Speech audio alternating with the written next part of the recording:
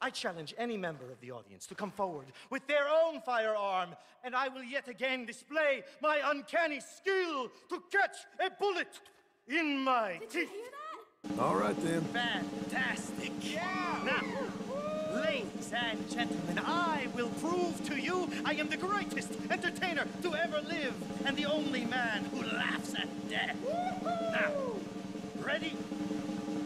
Take aim Oh, God, a fight is too much. And fire.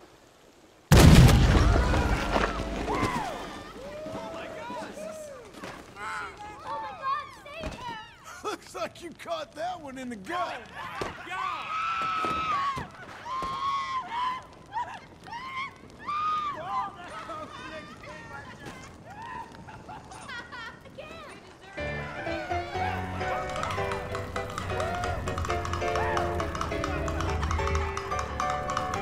He, he's just fine. He is fine.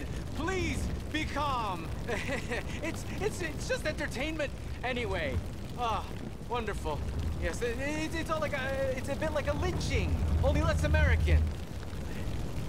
Marvelous stuff.